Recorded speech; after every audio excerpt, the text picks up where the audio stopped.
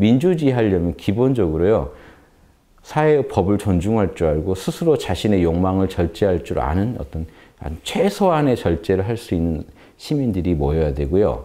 리더로는요. 민주주의 사회라면 리더로 국회의원이건 정치인이건 국민의 자기의 의견보다는 국민의 의견을 대변할 줄 아는 리더가 나올 때 최소한의 민주주의 조건이 갖춰져요. 그러니까 스스로를 규율하는 시민과 그런 시민들의 입장을 진심으로 대변할 수 있는 리더가 지금 우리 사회에 존재하나요?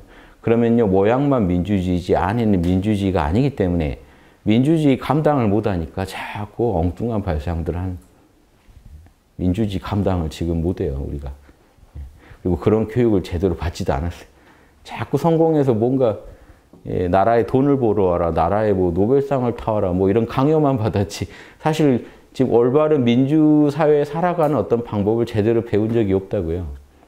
예, 저만 해도 제대로 배운 기억이 없습니다.